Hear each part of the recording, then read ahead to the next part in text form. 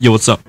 Welcome back to Upside Down Skyblock, where I'm playing in a normal Skyblock world where only I am upside down. A bit of an update, I expanded the tree farm, which allowed me to gather this much wood so far. I also mined off camera, so yes, I did the funny thing. Uh, don't worry about it, they're just building blocks, uh, it'll help me in the long run. In the last episode, I mentioned I wanted to get to the jungle biome or jungle island so that we can get bamboo. This is why I mined off camera and got this much cobblestone so we don't have to worry about resources while bridging over there.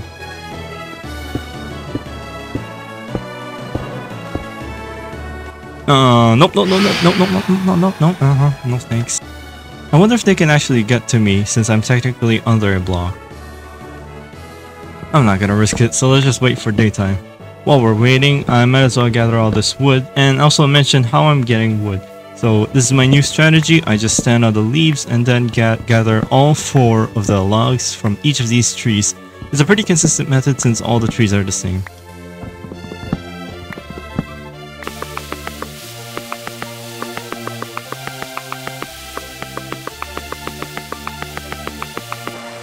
Hello there. Get out of here. Get, get out. Thank you. Bye. Have a beautiful time. Okay, now we just look for the bamboo and I'm hoping it's in here. I don't see any bamboo. I was hoping there's a chest buried underneath, but there's nothing there either. Okay, apparently there's no bamboo in this island, so the only way to get bamboo now is by fishing, and that of course needs infinite water and a bunch of string for a fishing rod. So yeah, takes a few more steps. On the right side, we now have melon seeds, and it's a good time for me to worry about my food situation now because I've been dying for some. So I have this ceiling water flow thing with a bunch of farmlands, and now I can plant the melon seeds that I got from that island.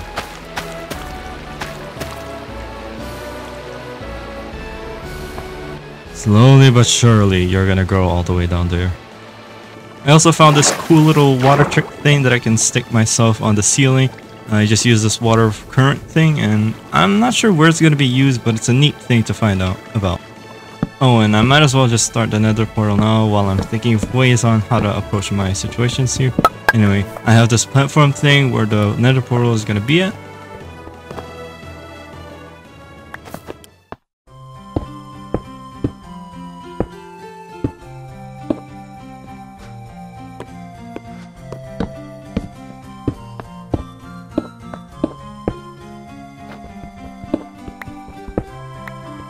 Okay, to light the portal, I'm gonna have a bunch of wood here, and of course a lava source beneath that.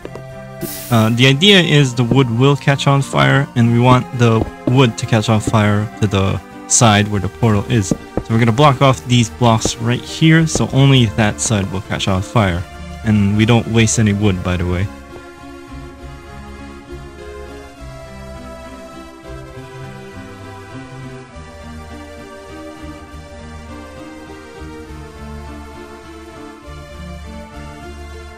Don't forget to clean up the mess while you're done. Okay, cleared out my inventory just in case something goes wrong and I'm only gonna bring some necessary stuff.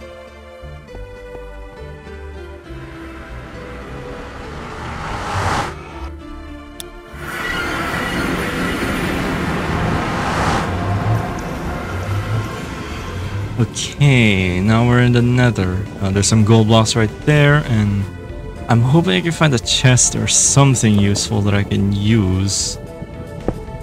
I'm hoping there's something on this other side. Uh, no? Looks like there's nothing. Okay, that's fine. Uh, we might as well secure this area.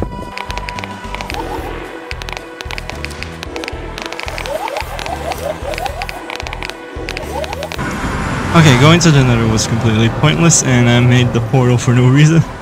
But at least we have one now.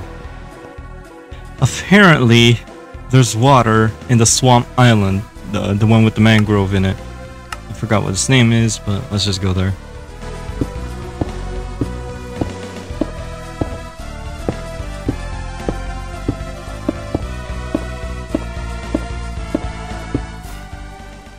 And there's water here course my research was correct.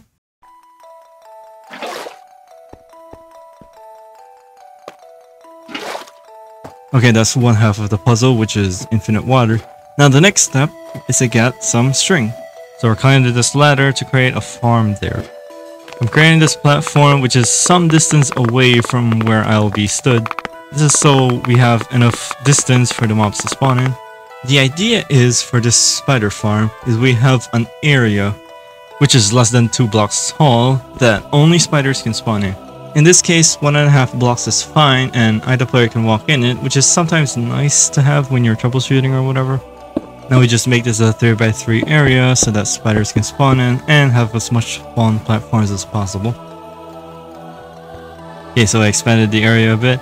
Uh, I, I left one block gap because other mobs will spawn in otherwise because it's two blocks tall exactly. And it's also a beautiful design because spiders will never fall through here because they're too wide.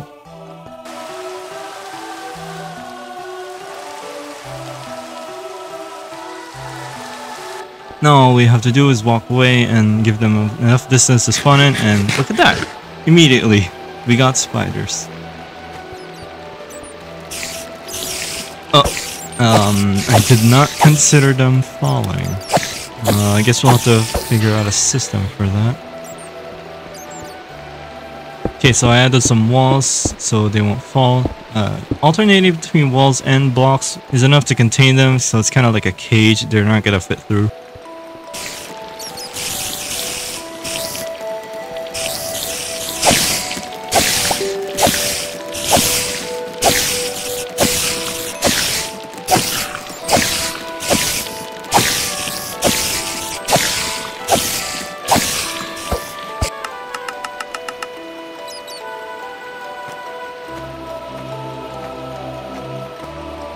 Of course, the final step is to create a fishing pool. According to the wiki, we just need a 5x3x5 area.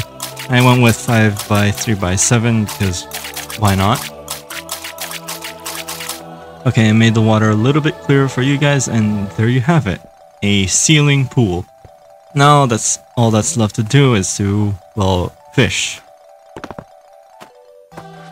I'm not exactly sure uh, how to do this.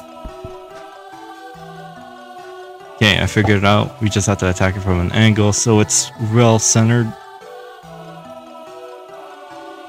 Oh my god, this is boring.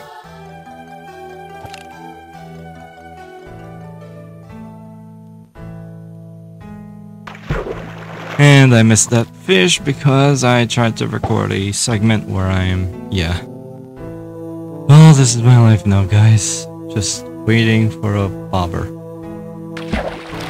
Well, at least we got a fish there. A puffer fish. So helpful.